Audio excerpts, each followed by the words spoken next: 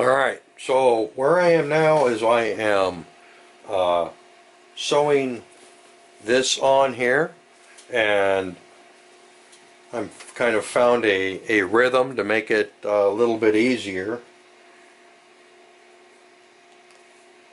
So, because it's such a, so difficult to sew through fur without it getting caught up in the thread.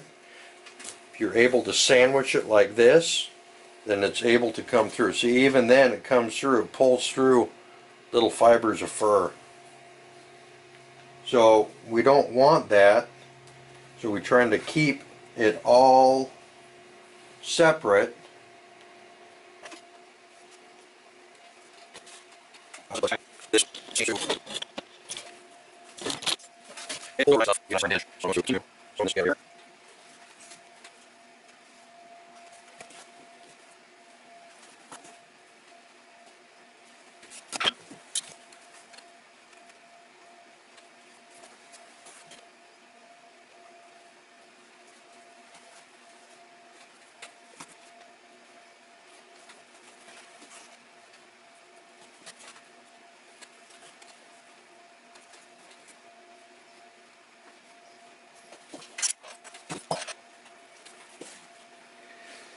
Yeah, see if I didn't, you don't pull it tight enough, sometimes it gets fuzzy, comes out.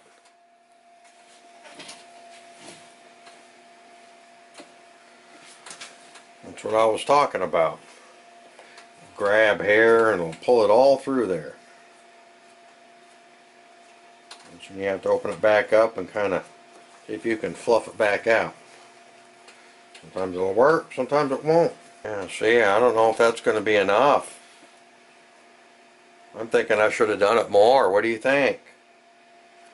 Looks like it's awful loose. Looks like it's going to come out okay though. Boy, I don't know.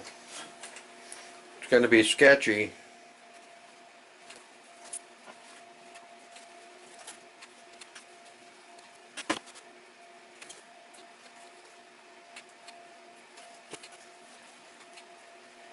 Maybe when I go back through on the second pass, maybe it'll tighten it up.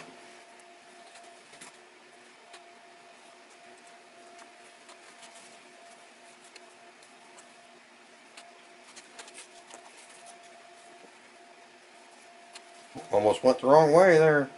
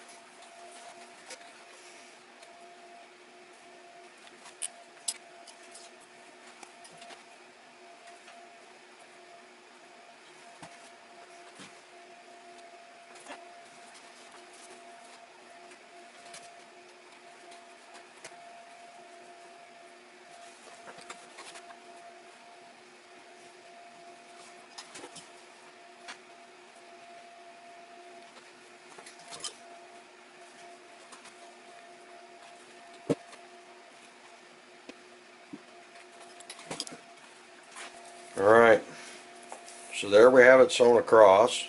And I think it looks pretty good with the dark lining, don't you? So now that I don't have enough to go across, because I had figured maybe just going two and a half times length would give me enough, but it chewed up a lot of a lot of line going through them holes now. So I'm going to go ahead and see if I can uh, secure this end somehow. I'm going to, uh, I'm actually going to go through and see if I can sew back and I'll probably get halfway and then I'll have to add in another piece of line. because I don't want to break the the continuity of what I got going on here. So as you can see, I'm I have this here, and I'm just pressing down on my cutting board to uh, push it through because, well, that's going through four pieces of hide and some fur. So you're going to have to have a pair of pliers handy to be able to pull it through and make it tight where it looks okay. You want to make sure it's nice and and firm. Once again, you don't want to pull it too tight, but you do not want it to be too loose. This will form into a solid line of leather right there, like a really tight roll of jelly. Always want to make sure you try to get the, the right angle on here because it's once it's already set up like this, boy, it's hard to change them holes around. So you want to be able to get it to where it pulls right through just like that one. Keep trying because you know it's there. There's already one piece of line going through that, that tells you it made it. So if you can follow that wherever you need to, as long as you get it poking through, you know it's there. Keep it nice and tight. You want to make sure that this is straight here, not all zigzaggy like this here. That's what we're trying to do, is we're trying to correct all that zigzag from all that tightness and pulling this back and forth and getting it right. You know? So we're trying to uh, straighten all that stuff up.